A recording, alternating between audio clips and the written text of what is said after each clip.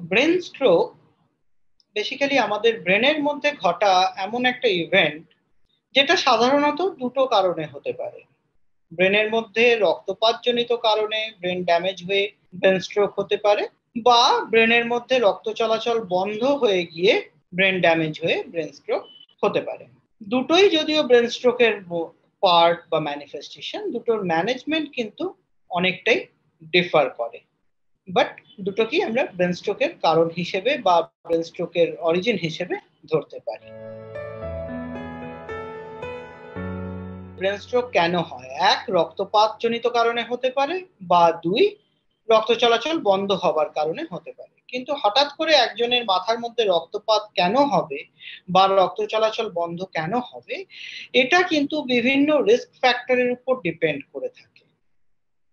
কিছু risk factor আছে যাদেরকে আমরা পরিবর্তন করে আমাদের স্বাস্থ্যটা ভালো রাখতে পারি, কিছু রিস্ক ফ্যাক্টর আছে যেগুলো পরিবর্তন করা সম্ভব নয়।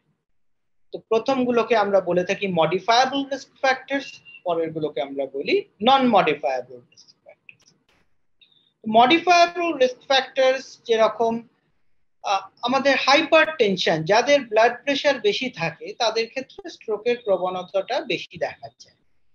Similarly sugar blood sugar sugar এবং প্রেশার যদি কন্ট্রোল না রাখা যায়, তাহলে স্ট্রোকের প্রবণতা কিন্তু ভীষণভাবে বৃদ্ধি পায়। অন্যদিকে যাদের ধরুন সারাক্ষণ বসে অফিসে বসে কাজ করা সিডেন্টারি লাইফস্টাইল শুয়ে বসে কাজ করা যাদের অভ্যাস, তাদের ক্ষেত্রেও কিন্তু স্ট্রোকের সম্ভাবনা বেশি থাকে। আমাদের দৈনন্দিন জীবনে যাদের বেশিরভাগ লোকেরই লাইফে প্রচুর স্ট্রেস থাকে টেনশন থাকে ডিপ্রেশন এই সবকটা জিনিসই কিন্তু, এই সবকটা ফ্যাক্টরি কিন্তু আমাদের ব্রেনের মধ্যে ড্যামেজ করা বা স্ট্রোক হবার সম্ভাবনা বাড়িয়ে তোলে। এই এতক্ষণ যতগুলো কারণ বললাম, এই সবকটাই কিন্তু মডিফায়াবল অন্যদিকে নন মডিফায়াবল রিস্ক ফ্যাক্টরস কিছু আছে যেরকম হচ্ছে এজ মানুষের যত বয়স বাড়ে, তত ব্রেনের শিরাগুলোর ফ্র্যাজিলিটি বেড়ে যায় মানে ফেটে রক্তপাত হবার সম্ভাবনা বৃদ্ধি পায়। সিমিলারলি রক্তের মধ্যেও ব্লাড রক্তের শিরার মধ্যেও জায়গায় জায়গায় লিপিড জমা হতে থাকে মানে ফ্যাট জমা হতে থাকে, যেটাকে অ্যাথেরোস্ক্লেরোসিস বলে। এগুলো বয়সের সাথে সাথে বৃদ্ধি পায় এবং সেই সঙ্গে বৃদ্ধি পায় স্ট্রোকের সম্ভাবনা। এগুলোকে আমরা হেরিডিটারি ফ্যাক্টরস বলি। এই হেরিডিটারি ফ্যাক্টরস বা এজ রিলেটেড ফ্যাক্টরস এগুলো কিন্তু কোনোটাই মডিফাই করা আমাদের পক্ষে সম্ভব নয়। তো এগুলোকে মেনেই আমাদেরকে চলতে হবে। ব্রেন স্ট্রোকের যে সিমটম আমরা ইউজুয়ালি স্ট্রোক বলতে যেটা বুঝি কমন পিপল যেটা বোঝেন, যে হঠাৎ করে একটা দিকে প্যারালিসিস হয়ে যাওয়া বা একটা দিকে উইকনেস চলে আসা এটাকে আমরা স্ট্রোক বলে মনে করি বা স্ট্রোক বলে বুঝি? বি ফার্স্ট যদি আমরা ইংলিশে দেখি, যে B E F A S T B B for balance balance মানে হঠাৎ করে যদি কোনো মানুষের, মানুষ দেখেন যে তার হঠাৎ করে মাথা ঘুরছে বা দাঁড়িয়ে থাকতে অসুবিধা হচ্ছে বা হঠাৎ করে তিনি বাথরুমে গিয়ে পড়ে গেলেন, সেটা ইনভেস্টিগেট করে জানতে পারি যে ওনার হয়তো স্ট্রোক হয়েছে। লস অফ ব্যালেন্স একটা কিন্তু ইম্পর্টেন্ট ইন্ডিকেটর যে হ্যাঁ মানুষটার হয়তো স্ট্রোক হয়ে থাকতে পারে। বাট লস অফ ব্যালেন্স মানেই যে সবসময় সেটা স্ট্রোক হবে এরকম কোনো ব্যাপার নেই।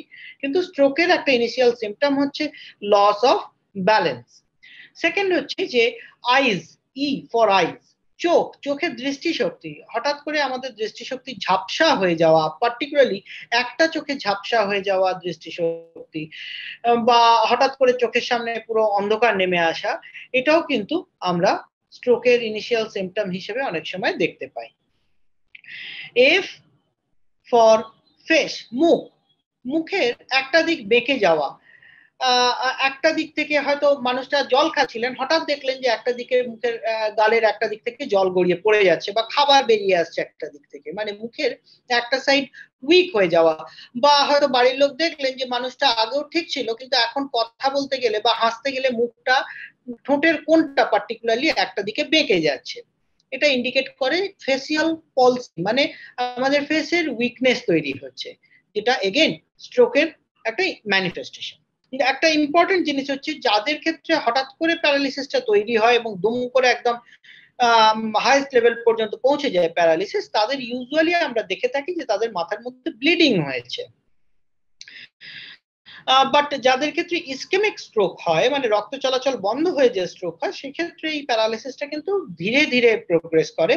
মানে ধরুন ওভার টেন টুয়েলভ আওয়ার্স এটা ধীরে ধীরে তৈরি হয় প্যারালাইসিস এরপরে আসছে যে স্পিচ আমাদের কথা বলার ক্ষমতা। স্ট্রোক হলে যেরকম ভাবে আমাদের হাত পায়ে উইকনেস আছে মুখের মাসলে উইকনেস আছে সিমিলারলি আমাদের গলার মাসলেও কিন্তু উইকনেস আছে গলার মাসলে উইকনেস আসা, সেটার জন্য কিন্তু আমাদের স্পিচে প্রবলেম হয়। কীরকম প্রবলেম না স্লারিং অফ স্পিচ আমরা যেটাকে বলে থাকি মানে কথা জড়িয়ে যাওয়া। অনেক সময় মানুষটা কথা বলতে বলতে হঠাৎ করে তার কথাটা জড়িয়ে যেতে শুরু করল। এটাও কিন্তু স্ট্রোকের লক্ষণ। লাস্ট লেটারটা হচ্ছে টি টি হচ্ছে টাইম যখনই আপনি কাউকে সাসপেক্ট করবেন যে এনার স্ট্রোক হয়েছে বা স্ট্রোকের মতো মনে হচ্ছে সিমটমগুলো সেই দিকে ইন্ডিকেট করছে ইমিডিয়েটলি এমার্জেন্সি মেডিকেল হেল্প নেওয়াটা বাধ্যতামূলক। নিতেই হবে। পেশেন্টকে অ্যাজ সুন অ্যাজ পসিবল কোনো মেডিকেল ফেসিলিটিতে নিয়ে যাওয়াটা অত্যন্ত আবশ্যক এই ক্ষেত্রে। আমি আমার পেশেন্ট বা পেশেন্টের বাড়ির লোককে বা যে কোনো অ্যাওয়ারনেস ক্যাম্পেনে আমি যেটা বলি, যদি মনে হয় স্ট্রোক তাহলে ইমিডিয়েটলি হসপিটালাইজ করুন। যতক্ষণ না আপনার অ্যাম্বুলেন্স এসে পৌঁছচ্ছে, ততক্ষণ পেশেন্টকে একটা শুইয়ে রাখুন প্রেফারেবলি কোনো শক্ত জায়গায় শুইয়ে রাখুন, মাথার দিকটা একটু তুলে রাখবেন। যাতে পেশেন্ট যদি জ্ঞানও হারায়, তাহলে পেটের খাবারটা যাতে উঠে এসে লাংসের মধ্যে প্রবেশ না করতে পারে। অনেক সময় স্ট্রোকের পেশেন্টের খিচুনি হয় মানে কনভালশন হয়। যদি কনভালশন হয়, মুখের মধ্যে কোনো চামচ দেওয়ার চেষ্টা করবেন না বা ইনফ্যাক্ট কোনো স্ট্রোকের পেশেন্টকে আপনি বুঝতে পারছেন যে স্ট্রোক হচ্ছে, এই অবস্থায় কোনো কিছু খাওয়ানোর চেষ্টা একদম করা যাবে না।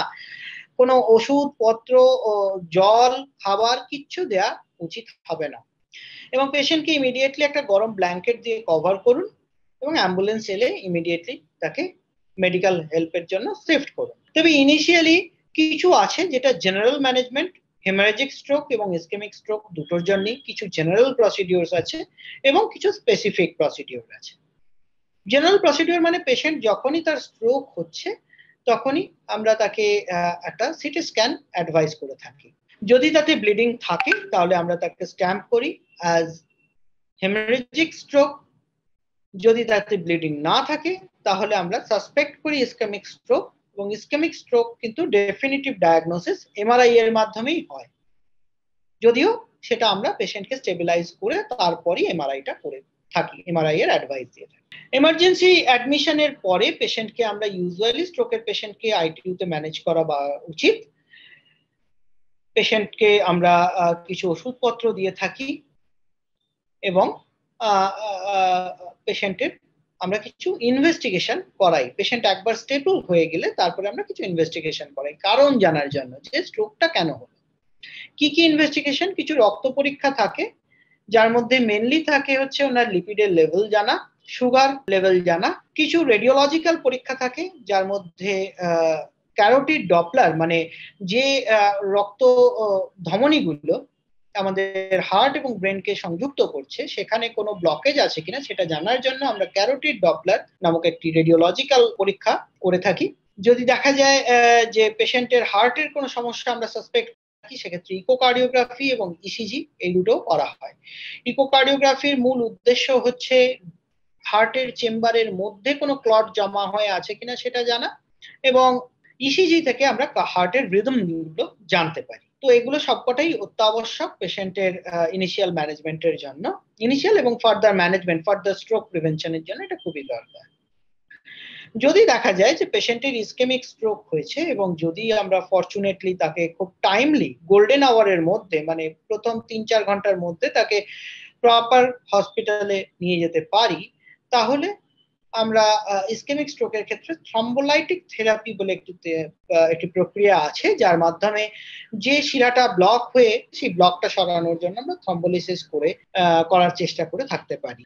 অন্যদিকে যদি দেখি আমরা ব্লিডিং হয়েছে ব্লিডিং এর আমরা ইউজুয়ালি যে পেশেন্টের ব্লিডিং হয়, তাকে আমরা নিউরোসার্জনরাই মেনলি দেখি এবং সেক্ষেত্রে ব্লিডিংটাকে আমরা তিনটে ক্যাটাগরিতে ভাগ করি। যদি ব্লিডিং এর সাইজ দেখি less than ten centi ten M এর মতো মানে দশ এম এর কম ব্লিডিং হলে তাকে আমরা কনজারভেটিভ ট্রিটমেন্ট করি মানে কোনো অপারেশনের দিকে যাই না।